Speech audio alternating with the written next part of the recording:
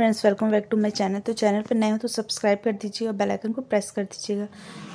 तो चलिए, आज हम पुलाव बनाते हैं। तो इसके लिए हमने यहाँ पे चावल ले लिया, इसे हमने अच्छे से वॉश कर लिया। अब हम एक पतीली को गर्म होने के रखेंगे। इसमें हमने जीरा डाला है, कुछ खड़े गर्म मसाला है, ला, हरी मिर्च है, तेज के पत्ते हैं, और थोड़े से हमने ग्रीन वाली मटर डाल दिया है।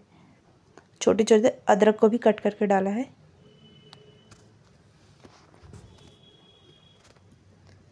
अब इसमें हम चावल को डाल देंगे।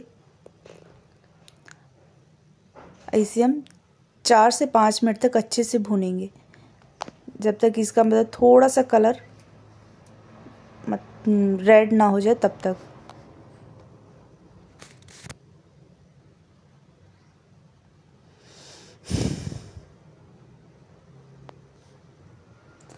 टेस्ट के अकॉर्डिंग नमक डाल देंगे।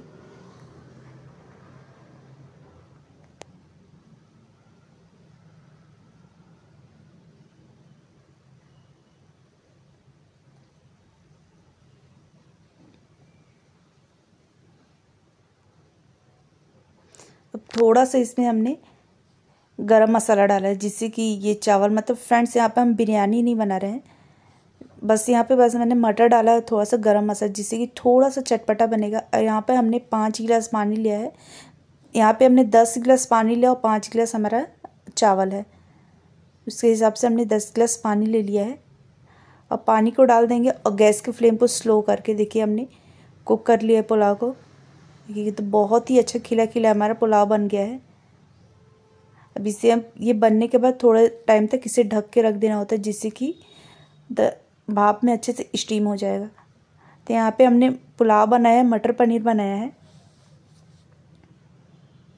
आलू गोभी की सब्ज़ी बनाया है, जो कि मेरे वीडियो, चैनल पे आप जाकर वॉच कर सकते हैं। ये हमने चने की दाल बनाया है तो वीडियो पसंद है तो लाइक करना। और भी बहुत सारी फ्रेंड्स रेसिपी है जो बैक टू बैक आएँगी।